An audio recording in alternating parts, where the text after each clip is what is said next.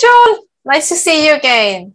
Lovely to see you. When did we last spoke? Or when did we, when did we last speak? Was it a year ago? More than that? I think was, yes, yes. I think it was a year ago. Yep. Mm. Well, I heard that there are exciting things happening in your world. More books, more writing. Mm-hmm. Mm-hmm. Mm-hmm. Yep. Yep. Uh, of course, we'll be talking about co-creating safety today, and I have a another book that's coming out next spring. It's a skill building book. It's called Healing Through Relating. Mm. And uh, it's got it's a skill building book. It has the 42 most important skills, or at least I think are most important skills to, to just develop a therapeutic alliance. And they're designed really to work with any therapist, no matter what your your background is, because every patient mm. has to be able to declare a problem. Every patient has to reg- we have to regulate patients' anxiety and make it a safe place. And we have to find out if this patient's will to work on the problem. And then, no matter what kind of therapy you do, you need to be able to pick up on clues that there's a misalliance. So it just mm. deals with basic skills everybody needs, regardless of what their theoretical perspective is. Mm. Well, that's exciting. Would yep. you be happy to talk about that in a later day as well? Oh, absolutely. Be delighted to. Mm. And I feel like all your books kind of they complement each other. So mm. I think I'm sure we will also talk about some of those skills that are useful for every therapist and coach, which is mm-hmm. the therapeutic alliance and picking up signs when things are misaligned. So I'm sure we'll talk about that as well today. Absolutely. So let's dive in. Your book um, focuses on a group of clients that you call fragile clients. Mm-hmm. So maybe okay maybe tell us a bit more about the genesis of this book how did it come about and why have you chosen to focus on this topic well um, a, a, big reason i wrote the book was when i started out as a therapist i oftentimes was bringing patients to supervision that my teachers and supervisors were saying weren't treatable this patient's not suitable for psychotherapy, they would say. Mm. This patient's not treatable. But the problem is, these patients were coming to me. They were coming to this clinic. They were suffering psychologically and they needed mm. some help. Later on, fortunately, I found some supervisors who had skills in working with these patients. They had worked at hospitals, they had worked with severely troubled people and and and the thing was is that these people were great clinicians mm. and they were mm. great teachers but they had no interest in writing mm. and in this tradition that they represented which came out of a place called chestnut lodge it was a famous hospital outside of washington d.c many people came out of that tradition of how to work with severely disturbed people but they wrote hardly any books that came mm. out of that so these are people had worked with Harry Stack Sullivan, uh, Frieda mm-hmm. Fromm Reichmann, uh, Harold Searles, and others. Mm-hmm. But there was a whole way of working with these people that had been uh, missed. And, and so then, um, then as I uh, was, you know, of course, I do this model of therapy. It's called guy uh, Habib Davanloo created this uh, model of ISTDP actually. Um, but he had this term fragility, and this this term and the group of people was um, was an area of psychotherapy that, although he labeled it, he didn't really develop it. Mm. So it occurred to me it was really important for us to have a book that would really help people understand this mm. group of people as a whole and to understand them as a spectrum. Mm. Uh, so so the term fragile, what it means is it refers to a group of people where their anxiety oftentimes floods them, overwhelms them. Maybe they where, where they have stomach problems or they have diarrhea because their anxiety goes into the smooth muscles that line the stomach or line the digestive system or line blood vessels. These are patients who oftentimes get migraines. Oh. Or they might they might get uh, they might become dizzy or they get blurry vision or ringing mm. in the mm. And, mm. and, these are signs of very severe anxiety that most therapists uh, don't pick up on. So these patients oftentimes go through many therapies where yeah. no one has ever noticed that they're really suffering from unbearable anxiety that would make it impossible for them to feel safe um, with a therapist. In the innate, because I, I mean, I just came out of migraine today, and mm-hmm. I also work with very sensitive people who sport have a lot of bodily symptoms, and there's certainly a lot of them are hyper aware, hyper anxious. But um, my question would be is that an innate thing, or is it usually because they've been through some kind of trauma and it's a reaction? Um, well, of course, we, we know that there's such a thing as temperament, mm. right? So, you know, E. James Anthony had this lovely metaphor. He talked about uh, in his research with children at the National Institute of Mental Health. He found that, you know, he said you have steel children, you know, you drop the child and it doesn't seem to be affected at all. Mm. You have another group that he called the rubber children. You brought, drop them, they, they absorb the shock of the mm. experience, they bounce back. And then he talked about the glass children that when you drop them, they shatter. Mm-hmm. So I think there's no question that there's an element of temperament that's mm-hmm. that's involved, and that's an area that tends not to be looked at. But there's clearly an issue of temperament, and anyone who's had kids can tell how their yeah. kids varied in temperament. And there's so, another concept called the dandelion children. Yeah. Yeah. And so so then, but then oftentimes we do find that people that are suffering from very high anxiety, mm-hmm. there's some kind of trauma in the back, background. It may be like verbal abuse, physical abuse, sexual abuse, or it may be a very misattuned pair of parents who couldn't uh, couldn't handle the child's anxiety, couldn't regulate it, and so as a result, that child's anxiety mm. has a way since it never gets regulated and comes back to homeostasis after a number of failed encounters, the child's anxiety actually remains permanently elevated, which is called allostasis. Mm. So there are some people where their anxiety is constantly at, at, a, at a very high level. Mm. So they don't even know what it's like to feel calm. Mm. They're, they're hmm. constantly anxious. And so when when people are suffering severe anxiety, then in this model we're curious where is their anxiety discharged in, in the body if it's if it's discharged in the somatic nervous system then people will tense up they'll feel tense they'll sigh and you'll see their hands clench and, things like this mm-hmm. but what happens uh, when patients have suffered you know are suffering very high anxiety their anxiety starts to move into what we call the parasympathetic nervous system and when it goes in the parasympathetic nervous system, several things happen. Um, heart rate drops, pulse rate drops, blood pressure drops, and neurohormones are released in the brain so that uh, they, they have trouble thinking. They have mm. trouble remembering things. It's, and it's not, they're, they're not trying to be difficult. It's just when they're that anxious, the, the neurohormones actually inhibit the, the functioning prefrontal cortex. Mm. And these are patients where they may not remember the session because the neurohormones shut down the hippocampus, which is where short term memory gets stored for mm. long term memory. Mm. So these are people, like I said, they'll they'll have right stomach symptoms, digestive symptoms, irritable bowel syndrome, Crohn's disease.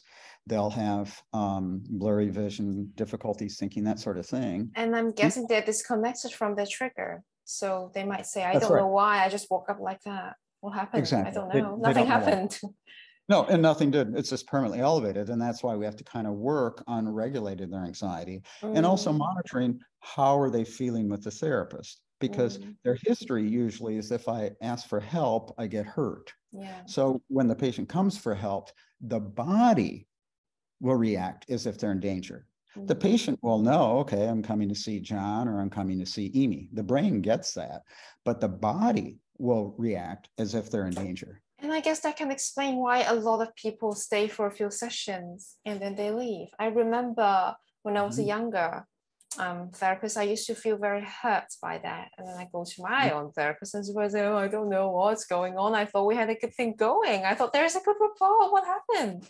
And yeah, obviously sometimes something might have quote unquote gone wrong, or maybe mm-hmm. I've said something that upset them. But sometimes it might just be that it's too good. That's right. Well, remember, if a patient has a good experience, it's it's it's going to trigger such a contrast to what they experienced before but the feelings about that prior con uh, that, that prior experience come in and that combination of the good experience with you and the memory of bad experience triggers so much feeling anxiety that the patient can't bear it yeah. this is like if you're with a, a paranoid patient the worst thing you can do is be really warm it's going to mm-hmm. scare that paranoid patient He mm. won't be able to handle it. Mm. Coming back to anxiety, I wanted to mention that when anxiety goes into the parasympathetic nervous system chronically, then people are going to have a lot of um, they're going to have a lot of inflammatory uh, difficulties. Um, it's going to if they have, uh, for instance, if they have um, any kind of inflammatory issues. I'm trying to remember. It's not lupus I'm thinking of, but MS, multiple sclerosis, mm. right? Patient that that'll trigger one of those wastebasket diagnoses that the Western yes, medicine can't right. figure so out. Of, so a lot of these people who have many somatizing issues, right? It's it's related to anxiety, and so that's why another reason why it's so important to be identifying that anxiety and regulating anxiety in the first session because our first job is you know patient wants help but their body reacts as if they're in danger. So the first task is can we regulate their anxiety so it can feel safe to do therapy? Wow. So, i want right, to hear how but yeah because because if the patient's anxiety is too high they, they literally can't can't bear it. So I, how I do you catch it and kind of because it's so counterintuitive isn't it a lot of people go into these professions are naturally really warm and they want to build a connection but eh, yeah it triggers the relational anxiety because they had yeah. such bad experiences in the past yeah so how yeah. do we yeah. catch not catch but um, help them feel safe before they quit that's the key question, isn't it? Well, one of the things is to pay really close attention to how they respond. So mm. we'll often ask, you know, what's the problem you'd like me to help you with? And uh, well, here, can the patient describe their problem in a calm way? Can they describe it in an articulate way? Or does but the patient. If they describe it in a calm and articulate way, can't we also argue that that's disconnection? Well, if they can detach, that's uh, that's actually really positive because that means they have access to intellectualization mm. uh, and detachment, which would mean they can isolate affect. That's a very high level defensive capacity. That's a really good thing. The It's interesting the because I would know a lot of therapists would challenge, include myself, including myself sometimes, would challenge that as over intellectualizing and being disconnected. Where you see very common is, hey, when you talk about your trauma, it's almost as mm. though you're talking about someone else's story. And right. my education told me that that's not usually a very good thing. So that's interesting mm. perspective. Right. Because if someone is really detached, yeah, we don't really have to worry about their anxiety. If they're really detached, they worry about something else. right. They can detach from feelings, they detach from people. So their problem actually is they, they're not in touch with their feelings and they detach from people, they detach from life. So life doesn't seem that meaningful. Exactly. But that means, though, that they're in this resistance system we call isolation of affect, mm-hmm. where the feeling word is isolated from the mm-hmm. experience of the feeling. Mm-hmm. Now that means their anxiety is is in the somatic nervous system. They tend to tense up and sigh. I'm not worried about a patient like that. Interesting. Where I where I get worried is if a patient starts to tell uh, tell you know I ask what's the problem you want me to help you with. At that moment, I'm watching how does she respond. Like when you say worried, what do you mean? Well, if I ask what's the problem you'd like me to help you with, if the patient is in a high level, uh, is has high capacity, she might sigh. She might say, "Well, I've got some problems with my husband." Mm. Now that sigh lets me know her anxiety is in the somatic nervous system. That lets me know, okay, this is a high capacity patient. But let's suppose the patient starts to tell a problem and there's no sigh.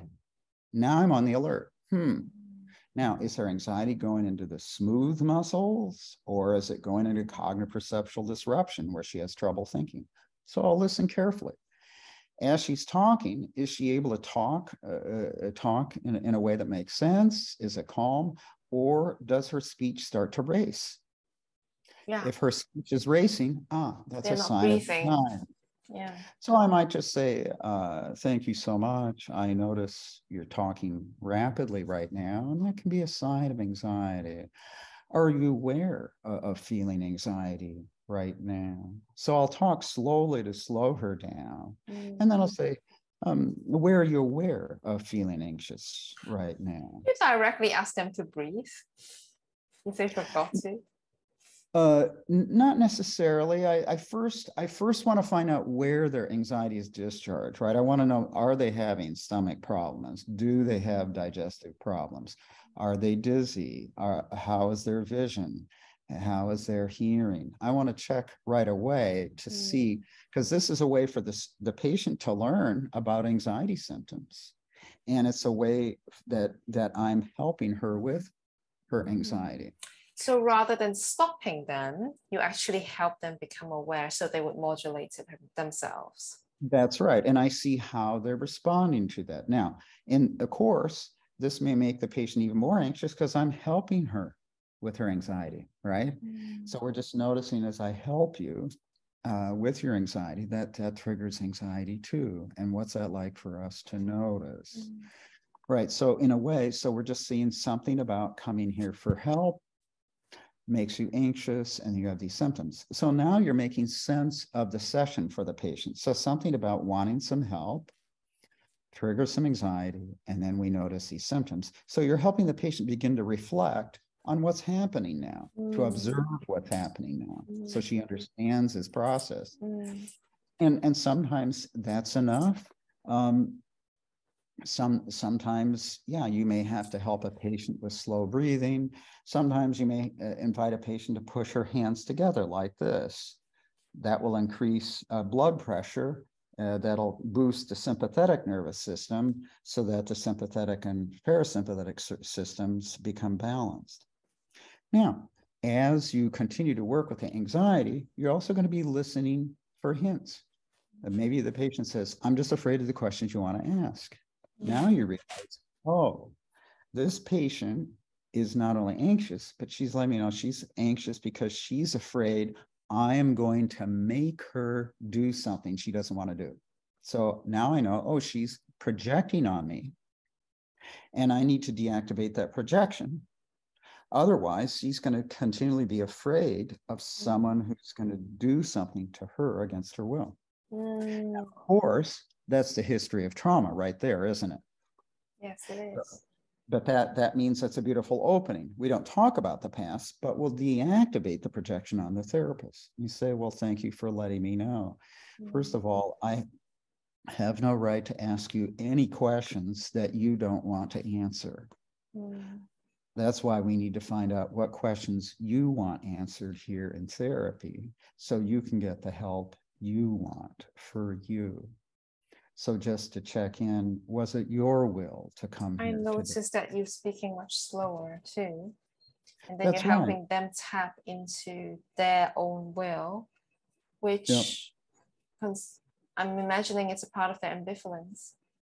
Well, well, you know, the you know, people people who've been traumatized have learned I shouldn't express my will. I'm supposed to submit to the will of the abuser. Mm. And like, suppose a patient has re- received physical abuse. If I express my will, I've learned I get beaten. So for these patients to express their will, their whole body will will just respond with tremendous anxiety right away. So we have to help her that, that it was was it your will to come here today, and are you wanting me to help you? And are you wanting some help to overcome your difficulties? When I can remind the patient of her will, and she can own it inside, then she doesn't have to project it outside onto me, where then she'd be afraid of my will. So when she projects that onto me, I have to help her own her will inside. And then she's going to feel safer inside with her will. And we're building her capacity to own her will. And we're also internally getting a sense, wow, it was I really. could imagine people could be really far gone in the projection and be completely dis- dissociated from their own will and desire and intention. I don't know mm-hmm. why I'm here. You want me to be here. My husband wants me to be here. Actually, keep in mind uh, that, that that although your uh, your husband wanted you to be here, this really can't be his treatment. Mm. And since these aren't my problems, I actually don't need you to work on them. So but you they, remind the patient reality just hang on. This is a way that you remind the patient of reality. You know, mm-hmm. this can't be your husband's therapy. Since these aren't my problems, right? I actually don't need you to work on anything. You're reminding her of reality. And then follow up. That's why we have to find out what you want to work on that you think would be helpful for you. In Mm-hmm. response, there will be a number of defenses, of course, and we will just address them one by one as we're very gradually helping the patient own her wish to be there and deactivate her projection. Let's suppose uh, I, I don't know why I'm here. Uh huh. Uh huh. And yet, so you don't know why you're here. And at the same time, you came. Mm-hmm. And we're just noticing this confusing reality. Don't know why you're here. And you came. And just noticing that complexity here today. Mm. There, you're doing the pressure to consciousness of splitting, right? I don't know why I'm here. Uh, you know, uh, uh, so we're, we're just noticing she doesn't know why she's here, and yet she's here. So we remind her of these contradictory realities. That's splitting. Help people understand why have we split off our own. I mean, we split a lot of things off our own will, our feelings. But when it comes to will, it does. I mean, intuitively we understand why we well actually we don't. We might need more explanation but i think a lot of Sure. people understand the idea of projection and we might have Mhm. talked about projective identification last time. If we don't we can come back to it but i think people have an understanding of how we want to split our feelings because it's painful. We don't want to tolerate like liking and hating someone at the same time. We don't want to tolerate these things. But the Mm. will why would we split off from our will? It's such a beautiful life-giving thing Well, because imagine the child who's uh, being sexually ab- abused, right? She has to split off her will, Yeah. right? The abuser, abuser says, "Split off your will and submit to mine." Mm. The the the parent who beats the child, split off your will and submit to this beating, right? So, in a way, right? You know, this is the kind of parent says, uh, "If you don't like it here, there's the door." Right? So like if i have my complex complexity i have to take myself out of the house. If i stay in the house i have to leave my will outside the house right? So in essence the parent is teaching the child how to split. If you want to be in this house you have to split off and deny that part of your experience. Mm-hmm. So in a sense you see every defense in a way is is in a way telling us the history And I guess what they have learned and internalized is having any desires, intents of their own purpose is dangerous. It- yeah, yeah, exactly. And that's all getting reworked with us. So they, you know, therapy starts with I want help. Therapy starts with the wish to depend and will. And for mm-hmm. your most fragile patients, that is that is proven to, you know, depending got me hurt, expressing my will got me hurt. So we're never surprised that when they come to depend, they're going to flood with anxiety. They know, okay, it's John. They know it's Amy Mm. but their body is going to have this reaction because it's a you know even if you think in terms of uh, behavioral therapy right it's a conditioned response Yeah. Yeah. so it's sort of like the like i'll say to patients right because you know you're with Jon uh, but your body is reacting as if you're with someone else Mm. Mm. you know you know you're in this office here at 3000 connecticut but your body is reacting as if you're somewhere down in south carolina Mm. Mm. you know in this way to help the, the patient understand how they can be cognitively aware of Jon but the, that they do have a genuine bodily emotional response that seems so different and it's not their fault it's just it's just the history of the past coming up to be heard and understood Mm. Yeah. Thank you. That's very Mm. clean. And I do want to circle back into our original point of people's fear of dependency. I want to Mhm. read out a quote from your book, and then maybe we can Mhm. use that as a starting point. Yeah. Let me see.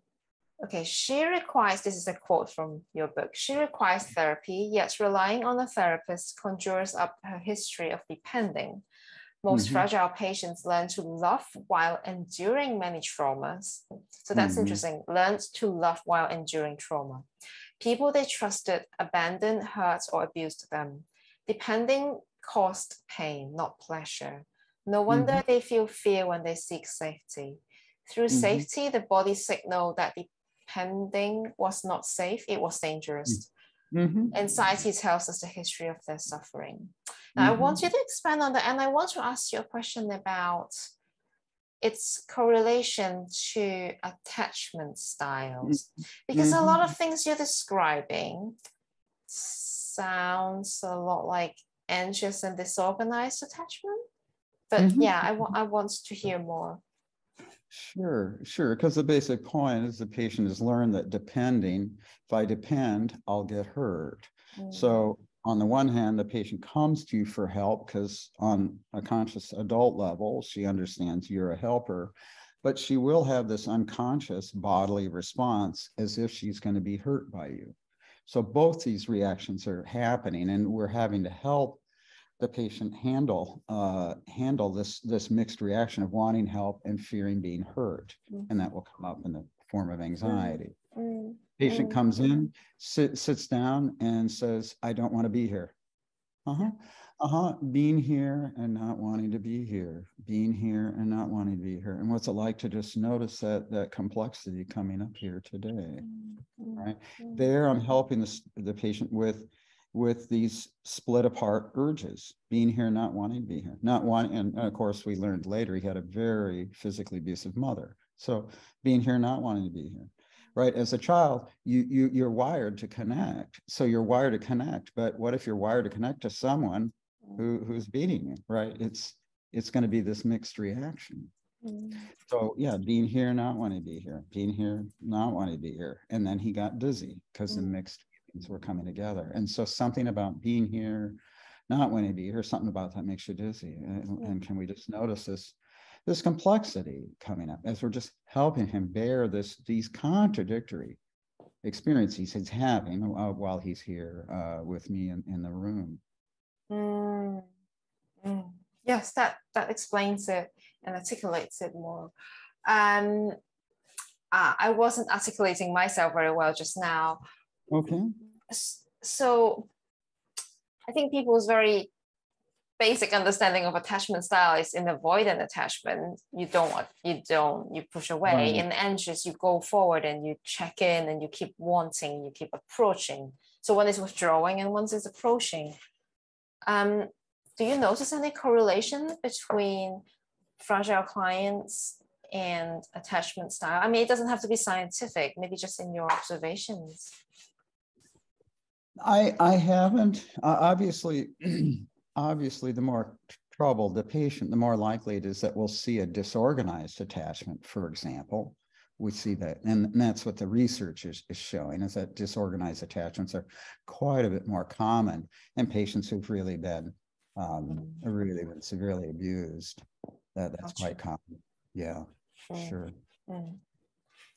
So, yeah, I want, I'm always finding myself having to convince clients that there is such a thing as healthy dependency because I think the word dependency, you call it dependence, you call it dependency mm. in our very well American culture, Western culture, very individualistic cultures. The word dependency has such a negative connotation. So, do you think there is such a thing as healthy dependency, and how can we help people to not fear depending or opening up or being vulnerable? Well, of course, of course, all of us depend upon one another. We, you know, we this interdependency. interdependency. It's a web. We all depend on on one another. So when the patient says, "I don't think it's healthy to depend," yeah, um, I, I, I wouldn't. I would never argue with the patient. I'd say there must be a really good reason you came up with that belief yeah what, what's your experience that led you to have that belief because you know if someone's beating you it's yeah it's kind of dangerous to depend on that person. Mm-hmm. um, dependency has led to hurt. Tell me more. Because mm-hmm. then we want to find out yeah why wasn't it a good idea to depend? Uh, who told them that they shouldn't depend? Where did they get the message that depending was unhealthy Mm. Then, instead of you convincing them, you can get curious about why this makes sense to them, mm. why why this why it was so adaptive not to depend. Because yeah. sometimes, in a way, we have to help them see, wow, not depending was a, a saved your life. It sounds like not depending on this abusive father was was really it saved your life. And we should thank that five year old child for figuring out I shouldn't depend on that father. Yeah. And so can we thank that five year old child for coming up with such an important life saving solution? Mm.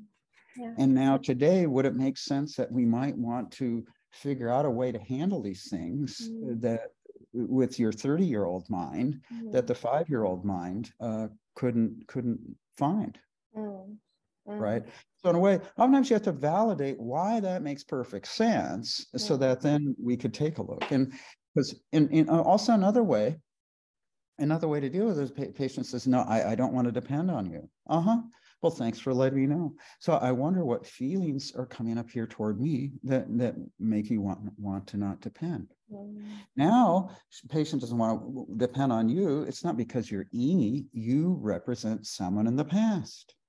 So when they say, I don't want to depend on you, it could be, I don't want to depend on you, you, my mother. I don't want to depend on you, my father. I don't want to depend on you, my abusive uncle. So he's saying, uh huh. So can we just see, right? You don't want to depend on me. Okay.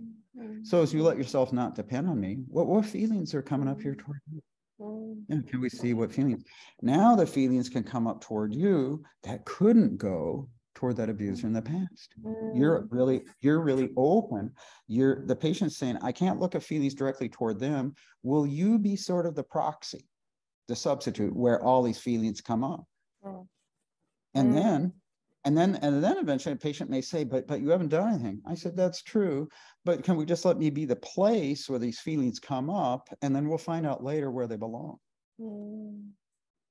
So in a way instead of it, trying to argue them out of position we could just get really curious about it and right not wanting to depend on me right well given your past that makes total sense right so i wonder insofar as you're not wanting to depend on me what, what feelings do you know is coming up here toward me today mm.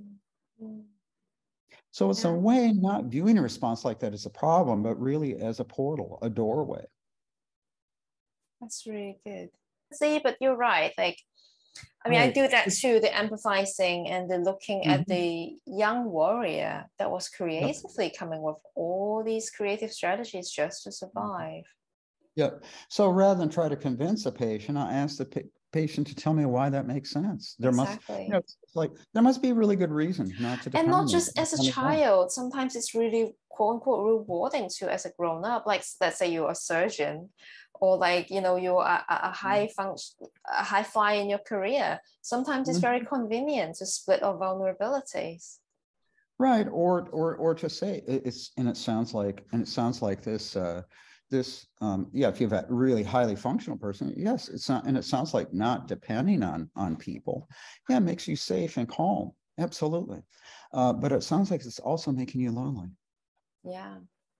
It's sort and of that's like their will. That's why they came to you in the first place. Yeah so it sounds like you're a king in a castle and and, and no one gets into the castle. Yeah, so yeah. It, it sounds like it makes you safe but it sounds like it's making you lonely. Mm-hmm. Mm-hmm. And and since and since you're putting up the castle wall here with me in this relationship, which you're saying it's nothing personal. This is what you do with everybody. This gives us a chance to see what gets stirred up with a person that would make you put up that wall here with me. So I wonder what feelings are coming up here toward me that make you put up the castle wall here. Mm-hmm. Yeah, what feelings are coming up here toward me? There's a psychoanalytic term that again sounds very negative, but I would like you to expand on it omnipotence. It's very much mm-hmm. related to what we're talking about. What do they mean in psychoanalysis when they say omni- I, I mean, in this context, it probably refers to the idea that we can fulfill all our needs. Right, right. Um, well, there's there's there's several ways we could look at that. I mean, I, think uh, everybody who's listening has probably had a highly resistant patient, pretty highly functional person. They're detached in their marriage, if they have one. They're detached in all their relationships. They're detached with you, and you find, and the and the and the person's kind of just sitting back and waiting for you to do your job. And you keep working, but they keep taking kind of a passive stance, kind of waiting for you to kind of make something happen here. And in that sense, when a patient takes kind of a passive stance, you find yourself becoming a little bit more active. You find yourself talking more. And oftentimes, you know, when I'm working with a student, I say, so um, how many how many sentences did you just say? And they'll say five. And and how many sentences the patient say? Well, he just made a noise. He just went. mm-hmm. And I said, okay, so th- could we say that this patient's taking a passive stance? Right. And then who is he expecting to do all the work here? Mm. Right. And I said, so what we have here is ordinarily in a relationship, you give 100%, patient gives 100%, we'll have the mm-hmm. best result we can have. Mm-hmm. But we're noticing this guy is giving 0%. Mm. He's asking you to give your 100%, and he's asking you to give his 100% too that he's withholding from the therapy. Mm. So it's as if you're asked to be an omnipotent therapist. You're asked to do to do your work and his work, which he's withholding. So it's as if you're supposed to be an omnipotent therapist who could do the work of two people. Where did that come from? Well, this is um, this was something Freud began to realize is that a patient may have a wish that you be an omnipotent therapist and that they could just sit back and let the therapy do its thing while they could just kind of passively wait for you to do all the work. Is there a childhood desire for a strong parent figure? Um, well, or can be, uh, or can be a way that a, maybe a patient is enacting how he went passive uh, with a father or mother, or uh, maybe he yeah. acting how a parent or mother went passive with him, mm. where he kept wanting something with him, but they were too passive and just weren't able to give it to him. So Makes he might sense. be withholding from you the way a parent withheld from him. Mm, interesting. So that you're supposed to somehow, yeah, make it make it all happen. Thank you. Or, for instance, a patient might say, Well, uh, I, am just helpless. I don't know what I feel. Right. So I'm helpless. You've got to do the work. I don't know what I feel. So you must tell me what I feel. You, in fact, must feel my feelings for me. Right. That would be in another, um, yeah, well, since I'm not you, I can't feel your feelings. Only you could do that. Mm. I think people do that even as ordinary people, we do that in our day to day very often, especially feelings we can't handle, like anger or shame. One mm-hmm. classic example, I think, is people go home and then they tell their partner how abusive their manager and bosses are. But then when you ask them how they feel, they're like, no, it's all right. It's a job, isn't it? and then everyone around them are all angry on their behalf. Uh-huh. Mm. uh-huh. Yeah. I mean, you mentioned um, in your book, patients use three strategies for avoiding feelings. Mm-hmm. Number one, detaching from mixed feelings. Mm-hmm. Number two, turning anger onto the self whilst feeling love for others. And mm-hmm. number three, splitting mixed feelings apart and projecting onto others. You've talked about three just now. Mm-hmm. I'm very interested in number two because I have that a lot with a lot of my mm-hmm clients where they turn mm-hmm. anger onto themselves whilst everyone else is good i'm bad i'm bad i'm bad mm-hmm. mm. is that right. related to the fabian idea of in fabian i'm not pronouncing his name right internalized anger where because it's scary for a child to imagine their parents being imperfect so everything must be their fault or, or yes. do you conceptualize it differently Yes, uh, it, it can be it can be related very much to Fairbairn's idea, right? I preserve the mother as good or father as good, and then I'm all mm. bad. Then if I'm the one who's bad, there's still hope for a good relationship with a good, all good parent. Sure. Mm. Here, here we look at it in another way, which is that when the patient is with you and the patient has mixed feelings toward you, she may avoid the mixed feelings by saying, "Oh, I love Imi, but I'm I must be your worst patient, or I'm a terrible person." So, since the patient, we view that as a way a patient is protecting you, protecting a therapist she loves. If she goes to self attack in session, we're thinking about it not just as a way she handles feelings in herself, we're thinking about her defense of self attack as how does she regulate the relationship? Yeah. And, and how is she protecting me by turning anger on herself? So if the patient says, I, am just really all bad, I'd say, uh huh. Could that be critical thought? Could is that the kind of critical thought that could make you depressed? Uh huh. So can we see, yeah, what feelings are coming up here toward me? Or we might say, yeah. So if you don't hurt yourself and, and you don't protect me, can we see what feelings are coming toward me? Now that's a big shock for the patient. Oh my God, this is a therapy where I could actually feel anger toward another person outwardly You mean you don't need to be protected? You don't need to be viewed as all good? You're not asking me to to attack myself to maintain a relationship with you? I said, Yeah, yeah. Can we just see what what feelings are coming up toward me? And that way, you're really restructuring the attachment pattern right there, just by asking, Yeah, what feelings are coming up toward me?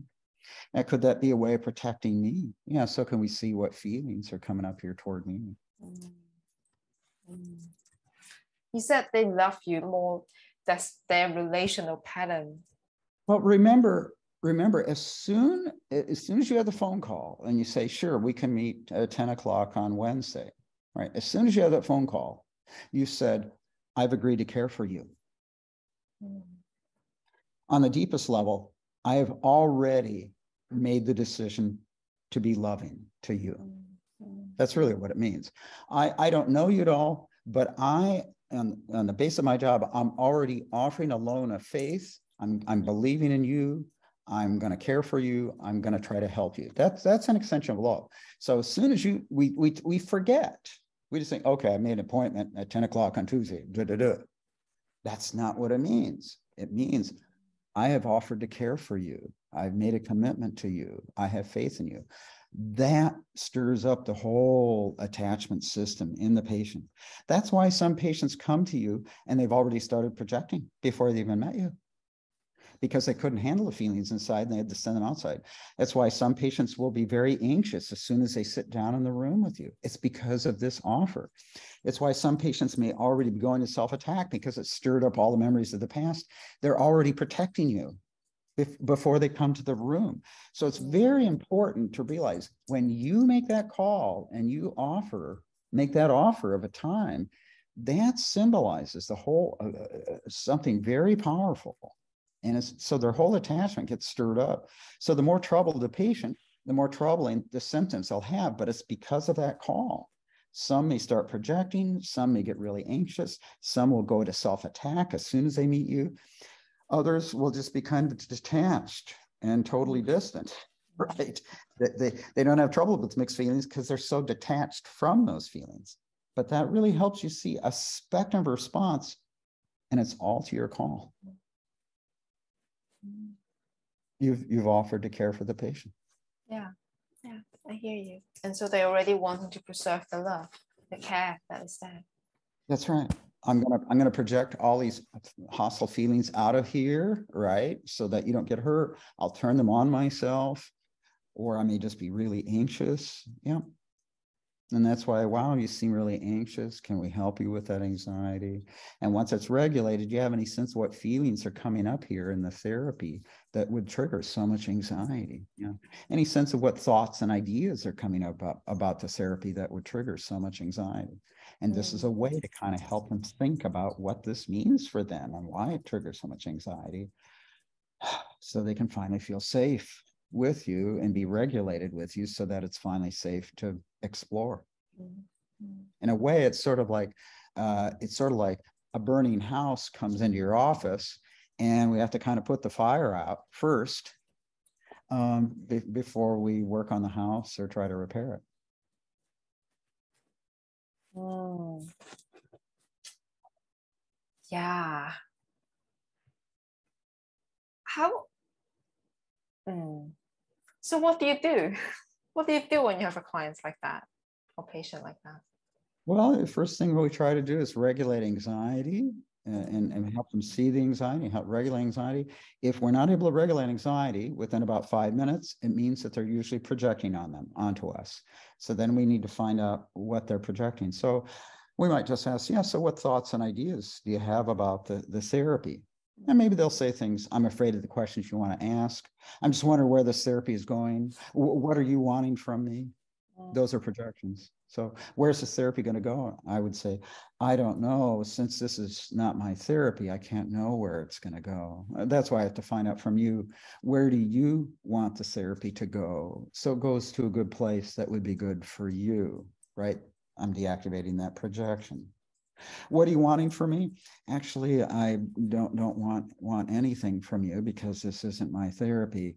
I'm just meeting with you to find out what you want from the therapy that you think would be helpful to you and, and give you the relief you're looking for.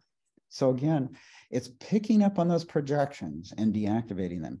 Like in my book, Co-Creating Safety, you may remember that there's a chapter on will, and all it is is like, what are all the different projections that come up? How do we deactivate those projections that come up in a very smooth way?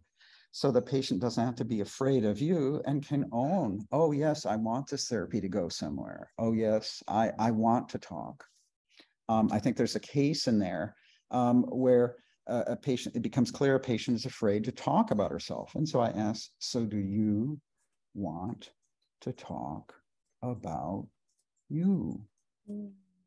And she got really anxious. And I said. Isn't that interesting? So something about wanting to talk about yourself makes you anxious, as if it'd be against the law mm. for you to talk about yourself in your own therapy. So let's just check in. Are you sure you want to talk about mm yourself. You just really take care, right? But this is where, if you can't regulate the anxiety, usually the patient is projecting something onto you. So then you're on the hunt, trying to find out what are the projections so you can deactivate the projections so the patient can finally feel safe with you. And that's where it can be really useful to say, any, uh, uh, you know, what, what thoughts and ideas are you having about the therapy? And then oftentimes, then from that question, you'll learn what they're projecting onto you and deactivate the projections so that instead of having a misalliance with the projection, they can finally have uh, an alliance with you. Mm. If if they have a misalliance with the projection, yes, they'll they'll leave after a, a, session or two. They won't be able to bear being in the room yeah. with their projection. Yeah, gotcha. Oh God, this is so rich. I love talking to you. Oh, you have a so way of explaining extremely complex relational concepts in a way that we can all understand. I want to be respectful of your time, so I think I might just ask one or two more key things. Sure. This is one thing I'm personally very curious about. How do you, because from your style, I think you are very analytical. I, I, I could be wrong, but also very relational. A lot in mm-hmm. your books, it's a lot about using the space we have between us. And that's the way I think about it as well. Not just mm-hmm. therapy, but also coaching and any kind of encounter. Mm-hmm. But I get a lot of questions about what we actually do, about steps and structures and worksheets. And sometimes I find it really hard to explain the relational process, especially in our world of see, of all these manualized steps, um, mm-hmm. short-term therapies.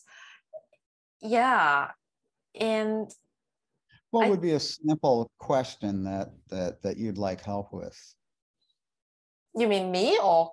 Yeah, because what, what's a question a, a patient gives how you that? do we? Oh, okay. Mm, so what do they ask me, for example? Yeah. Oh, okay. Mm-hmm. So what are the steps? What What are the steps? What are the next steps? Or what mm-hmm. is the mm-hmm. structure here? Do you have a set structure? Are there mm-hmm step by step things that we do? Are you going to give me homework? Are there going to be worksheets? Mm-hmm. Are there going to be instructions? How does this mm-hmm. work? Sure. There'll be no uh, no worksheets, uh, some instructions sometimes, but in terms of the next steps, it really really depends on on what you're able to face and what you're having trouble face. It, it really will depend on your motivation and it'll depend on, on your ability to deal with what you usually avoid. In a good therapy, we're going to help you face what you usually avoid. And so, in terms of the steps, that really kind of depends on you, your motivation, and um, your ability to deal with what you usually avoid. So, we're actually going to find out from your responses well, what the next steps will be. Oh, but that sounds really woolly. So there's nothing that you already said. Like, don't you have a process? Uh, there's no box I fit you into. That's correct.